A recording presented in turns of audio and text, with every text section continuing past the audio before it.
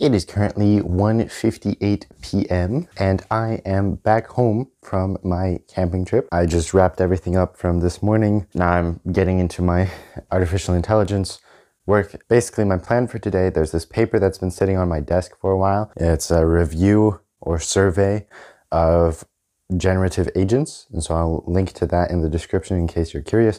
But my plan is basically just to read through that, get an idea of how their long-term memory systems work so that I can build from the work that I did last week with the stream of thoughts. Yeah, that's the plan. Just go read through that paper and then see how I can improve what I did last week. I had recorded the audio for this part as I was recording the video, but something went wrong and now the audio just kind of sounds like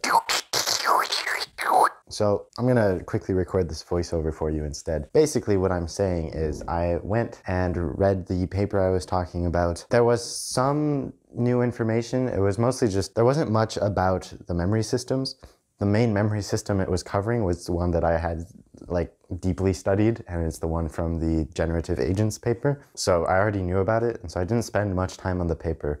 Instead, I decided to spend some time making my assistant more accessible by giving it a phone number so that I could actually text it. Here I'm trying to demonstrate this new phone number that I gave. So I'm typing hello, and when I sent it, it didn't work. So here I am running downstairs to go and fix it. And now I'll pass you back to present Nicolas instead of uh, currently editing Nicolas to carry on with the rest of this video.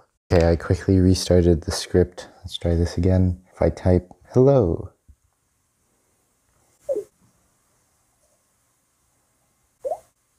then it will respond. How can I assist you today? Then I'll just say introduce yourself.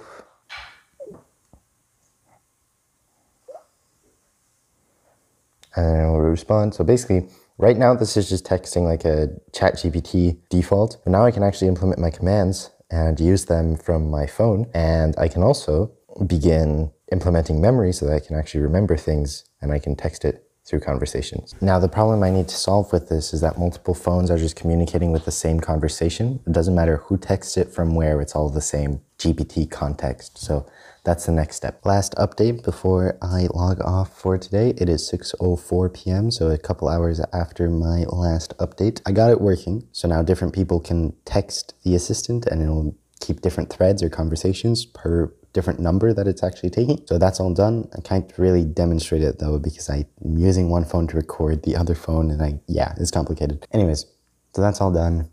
I think today I'm just going to, I have a few more tasks to do, just like admin tasks, and then I'm just going to read for a bit and then go to sleep. So yeah, I'm feeling good. I'm glad I was able to implement this assistant into actual text messages so I can actually text it now and make it more useful and accessible, which is cool. I'm excited to see it.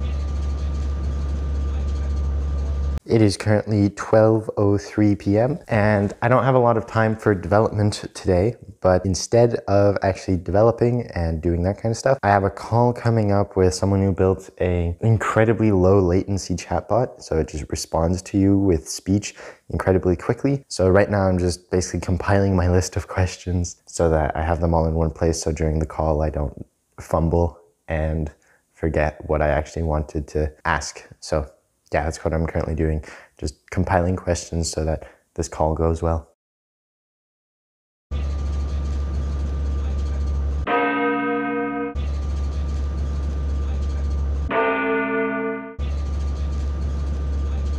Hello, it is now Friday, 10:43 p.m. I am not home and I've been away for most of the week or I've just been busy for most of the week.